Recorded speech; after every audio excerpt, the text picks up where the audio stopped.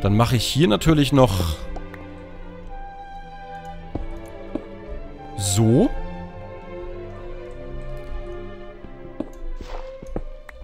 Und das hier, das muss natürlich dann auch entsprechend zack Stein sein. Und dann mache ich die Treppen auch. So. Ach, das geht ja inzwischen auch. Wieso...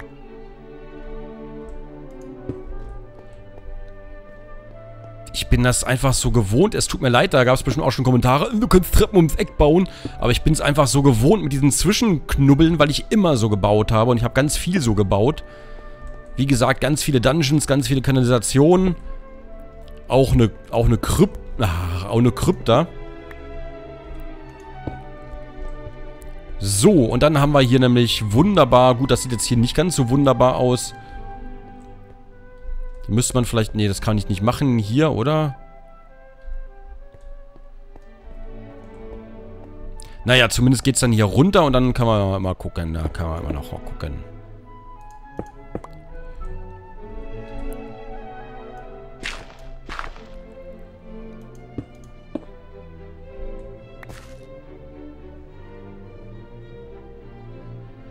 Ah ja. Hm. Was ist, was ist denn... Sag mal, wer wirft denn da mit Blöcken? Ach, die scheiß Arbeiter werfen mir ihren Müll aus dem Fenster, weißt du? Das Gesocks. okay, jetzt ist die Frage, was machen wir Holz? Vielleicht einfach normale Eichenholzbretter? Wäre eigentlich eine gute Gelegenheit, mal was anderes zu verwenden, aber wir haben halt Eichenholz gerade so schön dabei und hier ist ein Eichenwald. Liegt natürlich ein bisschen auf der Hand. Und wir haben ja Eichenholzstufen auch dabei.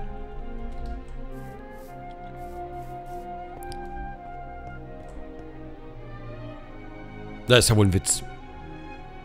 Also das ist ja, also das ist ja ein Traum. So, dann mache ich jetzt mal die Eichenholzstufen.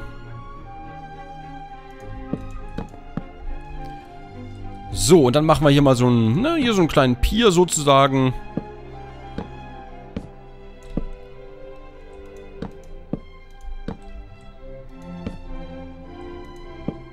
Wobei ich den eigentlich auch mit Treppen bauen könnte, ganz ehrlich gesagt. Aber da brauche ich erstmal ein bisschen mehr Holz.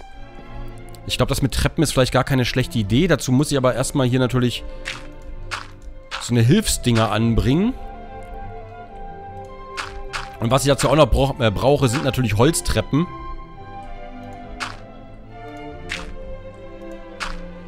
So, und die müssen wir uns aus Holz basteln. Und ich weiß noch nicht genau, wie weit der Pier nach, nach vorne geht. Der wird dann, glaube ich, noch so ein, so ein Querstrebe haben, damit da wirklich auch Boote anlegen können. Nicht nur so, sondern vielleicht auch so. Aber nur eine kleine Querstrebe. Und da muss ja auch ein bisschen Platz für Schaluppen sein. Was wollte ich machen? Treppen wollte ich machen. Dafür brauche ich natürlich erstmal richtiges Holz. Ich brauche Platz. Ich brauche dringend Platz, Alter. Ich muss... Tut mir leid, ich muss erstmal wieder Slaps loswerden. Scheiße. Hüps, hüps, hüps, hüps, hüps, hüps, hüps. Uha. Ah, du bist aber hübs. So, ich sollte mir Themen und Geschichten ausdenken, wenn ich hier gerade am Verbauen bin. Eine Sache, die ich ansprechen wollte, war ja dann... Hatte ich mir überlegt, vor Ewigkeiten schon, schiebe ich immer vor mir her, weil ich immer nicht weiß, hm, doofes Thema. Es ging so um Facebook zum Beispiel, um Datenschutz, um eigene Daten, die man angibt, weil viele ja sagen, ach, ich möchte der, der Datenkrake Facebook meine, meine hochsensiblen Daten nicht übermitteln. Und dann denke ich mir immer, ja, aber ganz ehrlich, was denkst du denn, wer du bist? Also, weiß ich nicht. Also bei mir ist das zumindest so. Ich habe mich dann auch immer irgendwie eine lange Zeit immer falsch genannt und sonst irgendwas. Und irgendwann dachte ich mir, ach, weißt du was? Oh, Moment, kratzen. Ach, weißt du was? Fuck it einfach, weil ganz ehrlich, wer ist denn an dir als Individuum interessiert? Die sind ja mehr an der Masse interessiert. Und ob sie da jetzt irgendwie affine Werbung bei mir schalten oder sonst irgendwas und vielleicht machen sie dann auch ein Persönlichkeitsprofil von mir, ach weißt du, Big Deal. Da habe ich persönlich, also das kann jeder für sich halten, natürlich wieder will. Datenschutz ist ein ganz sensibles Thema, muss man sich auch Gedanken drüber machen, aber wichtig ist nur, dass man sich auch Gedanken drüber macht. Die einen wollen halt vehement nicht, dass irgendwas von ihnen im Netz steht. Alter, Moment. oh, oh, oh. Ja, Entschuldigung, der Nase kratzt wieder wie eine Sau. Ähm, die einen wollen halt, dass gar nichts von ihnen im Netz steht oder sonst irgendwas. Die anderen, ich meine, man kann ja auch Fake-Daten eintragen, aber ganz ehrlich, man hat es doch selber in der Hand, was man da ausfüllt und was nicht. Also ich persönlich, das möchte ich niemandem empfehlen natürlich, aber ich persönlich habe damit einfach meinen Frieden gefunden. Ich gebe halt so dies und das an, aber natürlich auch nicht alles. Ich möchte auch nicht, dass Facebook zum Beispiel, nehmen wir das immer als schlechtes Beispiel, dass die auch alles von mir wissen. Das möchte ich gar nicht, aber ich sage ein Stück weit, okay, das ist okay, wenn, wenn das von mir da steht, wenn das Foto von mir da veröffentlicht ist, wenn diese Info von mir da veröffentlicht ist. Man kann sich quasi auch ein eigenes Persönlichkeitsprofil online anlegen und sich sozusagen auch so öffentlich da präsentieren, wie man das gerne möchte. Das habe ich ja auch schon, bevor ich jetzt hier bei YouTube mit Gronk unterwegs war oder sowas, da habe ich mich da ja auch schon als, ne, also war ich da auch schon privat unterwegs auf Fatzebuch und habe da auch schon meinen Frieden gemacht, habe da aber auch schon drauf geachtet einfach, was von mir da erscheint und was nicht. Aber ich würde jetzt nicht vehement sagen, nein, niemals! Denn mit der Zeit gehen naja, sollte man schon. Und sich allem Neuen verschließen oder sich neuen Sachen verschließen, ist immer so die Sache, muss man für sich selber abwägen. Aber wie gesagt, schaltet euren Kopf ein, überlegt euch selber, was ihr wollt und was ihr nicht wollt. Inwiefern, bis, bis wohin ihr bereit seid, irgendwas von euch aufzugeben in Sachen Datenschutz oder Privatsphäre oder sonst irgendwas. Ganz ehrlich, wenn man bei jedem beschissenen Gewinnspiel alles, alles seine ganzen Daten in den Rachen wirft, wo man direkt weiß, da ist eine Gewinnspielmaschinerie hinter, äh, dann weiß ich nicht. Gewinne eine Xbox. Oh geil, hier ist meine Schwanzgröße. Entschuldigung, das war jetzt übertrieben. Ich entschuldige mich dafür. Aber ganz ehrlich. Gewinne eine Playstation 3. Oh geil, ey, hier sind Nacktbilder von mir. Also da gibt es ja auch mehr als genug. So, also nicht Nacktbilder, aber halt äh, solcher Leute, die dann sofort aufspringen, wenn es irgendwas zu gewinnen gibt, sofort alles von sich preisgeben. Und dann anderswo aber darüber lässt dann, dass andere Leute das von sich preisgeben. Ich melde mich doch nicht bei Facebook an, diese Datenkraken. Gewinne eine Xbox. Oh, geil, ey, hier Nacktfotos, na hier ein Pornofilm, den ich letzte Nacht gedreht habe mit mir selbst und einem Huhn und äh, anderen Möbelstücken auch. So, auf jeden Fall, äh, weißt du, was ich meine? Das ist äh, immer so ein bisschen dieses Zweischneidige auch wieder. Was wollte ich machen? Entschuldigung, ich weiche vom Thema ab. Obwohl ich gar kein Thema habe, weiche ich trotzdem davon ab. Ich bin einfach weich. Soft. Herzlich willkommen bei unserem Soft-LP. Mein Name ist Josef und ich mache die softesten LPs auf YouTube. Ganz zärtlich schlage ich hier... Warte, warte. So. Zack, zack, zack, zack. Und theoretisch könnte ich hier schon mal den hier machen.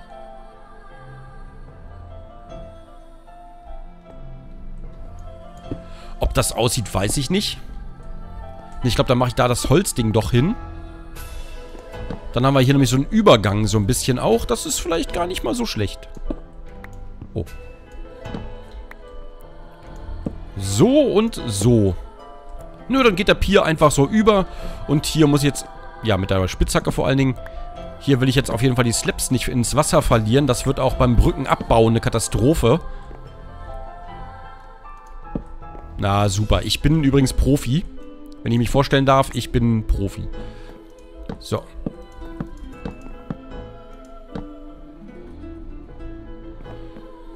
Ja, sieht aber schon mal gar nicht so schlecht aus eigentlich.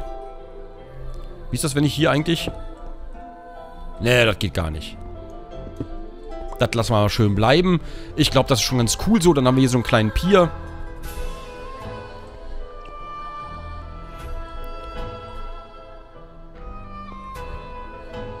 Eigentlich müsst ihr den Weg noch einen versetzen. Einen nach hier.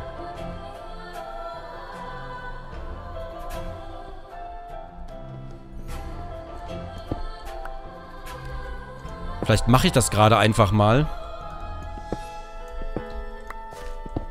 Ist ja alles Work in Progress hier, ne? Da muss man halt hin und wieder mal das Leveldesign ändern. Ihr als erfahrene Spieleentwickler habt da sicherlich Verständnis für. Äh... Äh... Ich habe gar keine Treppen mehr. Hm, gut.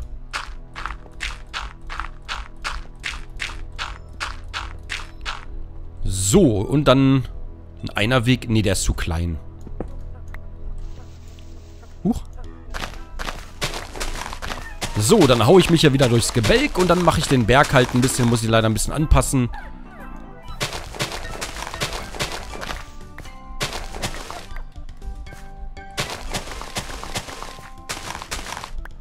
So, da müssen wir eh mal gucken, wie wir das machen, aber das geht ja natürlich auch so. Und jetzt lege ich hier einfach... Doch, hier kommen ja eh Slaps hin, ne?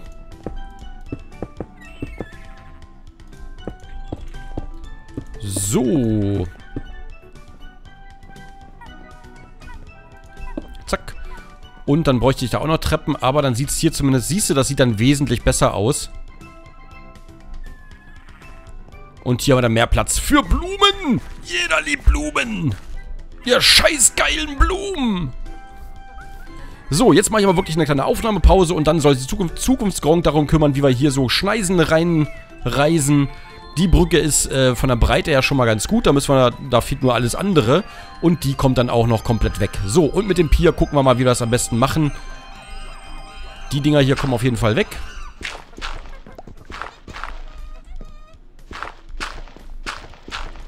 Und was der Pier auch noch braucht, ist, sind Nisten. Kein Pier ohne Nist. So, und hier manchmal... Ach, da können wir eh noch Holzstufen machen. So ein bisschen. Gut, da fehlt jetzt noch ein Eckchen. Und dann muss ich mal gucken, wie ich da unten dann... Da muss ich noch Erde hinmachen. Ja, toll, habe ich gerade weggerissen. Aber ist egal, kann ich ja da wieder... Ganz easy cheesy. So, mache ich mal eben so. So, da war ich zu nah dran. Uah. Ich kann übrigens 10 Minuten unter Wasser die Luft anhalten. Ich glaube nicht. Eine Leiter wäre hier noch ganz gut. Und was ich da noch machen will... Gut, hier müsste ich dann vielleicht noch ein bisschen äh, äh, wirklich Stein machen auch. Vielleicht da auch dann. Da hätte ich gerade eine Idee, was ich da machen kann. Uh, raffiniert, Gronk, du alter Hund. Ich weiß jetzt, was ich da bei diesen Arbeiterdingen machen kann. Uh, raffiniert. Ja, auf jeden Fall, hier müssen wir noch ein bisschen rumreißen und so weiter und so fort, wenn wir das dann wirklich so ausbauen wollen. Und ganz ehrlich, hier passt so eine Hafennische auch wesentlich besser hin, als da drüben bei unserem Dörfli, wo wir die zuerst gebaut haben. Da passt die thematisch einfach nicht wirklich rein. Und hier sind wir thematisch weit weg von allem. Hier können wir machen, was wir wollen. So, und dann müssen wir mal gucken, wenn ihr noch Ideen habt für hier irgendwas, ne, und so, dann, wie gesagt, immer fleißig die Kommentare posten. Ich lese die eh alle durch. Also ich überfliege die natürlich, weil das sind so viele, die kann ich nicht, äh, da kann ich mich nicht hinsetzen, irgendwie eine Pfeife stopfen, die Beine übereinander schlagen mit einem Bademantel und dann erstmal jeden Kommentar, es war einmal vor langer Zeit, da lebte einst. Also ich überfliege die und äh, lese die meistens natürlich auch alle. Wie gesagt, Vorschläge immer gerne rein. Ich bin sehr gespannt, was dabei zusammenkommt. Und ansonsten bin ich auch sehr gespannt, wer sich hier inzwischen beworben hat und wen wir da in Bälde einquartieren dürfen. So, ich bin erstmal raus. Nikolaus. Und wir sehen uns dann bald wieder. Da, da drüben könnte man eigentlich auch, da auf die Insel, könnte man auch so ein schönes einsames Häuschen noch machen, was man dann von der Brücke sieht oder vielleicht von auch von da drüben. So ein kleines Holzhäuschen, also nur so eine kleine Hütte einfach nur. Nichts Großes, nur was Kleines, ne? Einfach, dass man so ein paar Akzente auf den Weg setzt, die man hier so abläuft. Oh, epische Musik zu einem Sonnenaufgang. Nee, den warte ich jetzt nicht ab. Wir sehen uns gleich wieder in der nächsten Aufnahme. Dankeschön fürs Zuschauen. Tschüss.